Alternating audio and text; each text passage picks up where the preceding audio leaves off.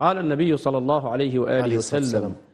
أنا وكافل اليتيم كهاتين وضم السبابة والوسطى في الجنة. قال أنا وكافل اليتيم في الجنة هكذا. وأشار النبي صلى الله عليه وآله وسلم. كما قلت التركيز على الألفاظ المستعملة في السياق الحديث للنبي صلى الله عليه عليه وآله الصلاة وسلم. والسلام.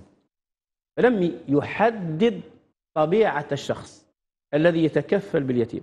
لكن الكفالة بالنسبة لليتيم أن تعطيه من العناية ما تعطي لولدك دون نقص. والنبي صلى الله عليه وسلم حدد هذه الكفالة.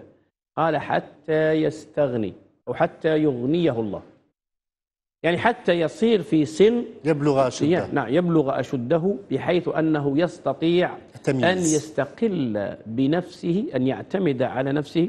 ويستغني عن خدماتك أنت تكون أنت قد وفيت لله سبحانه عز وجل بحق هذا اليتيم واستحق واستحققت هذا الجزاء الذي حدده النبي صلى الأجر. الله عليه وآله وسلم مم. تكون قد حصدت هذا الفضل أبواب الخير متعددة الله سبحانه عز وجل نوع لأن الإنسان ليس كل إنسان قد يرزق بولد وليس كل إنسان رزق بولد رزق بره.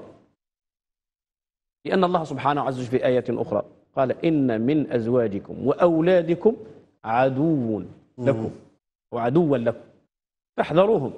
هناك من الأبناء من طبعا آه، في بعض الأحيان يصدر منه أو يلاقيك من الصنائع القبيحة ما لا يلقاك به أبناء جيرانك أو أبناء يعني غيرك قد تجد الرحمة في الغريب والإحسان في الغريب وتفقدها عند أقرب الناس إليك.